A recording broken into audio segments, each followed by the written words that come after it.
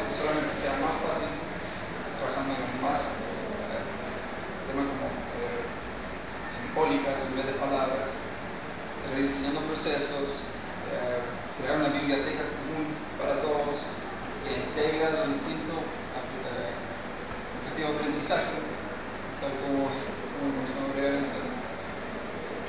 Eh, queremos integrarnos con otras soluciones tecnológicas que usando como Dropbox, Google Drive, Google Documents, Evernote, eh, otras soluciones tecnológicas para la educación. Y bueno, como decía, vamos a hacer en marzo.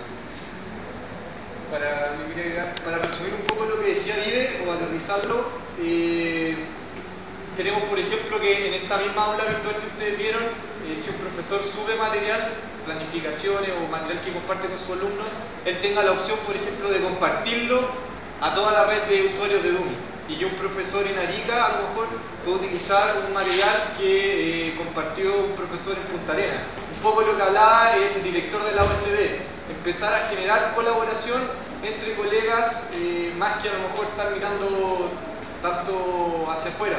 Por otro lado, para facilitar el trabajo eh, administrativo, integrar Edumi con la plataforma SIGE, de manera que las notas que ustedes suben a Edumi, esas mismas también son las que se envían al Ministerio de Educación.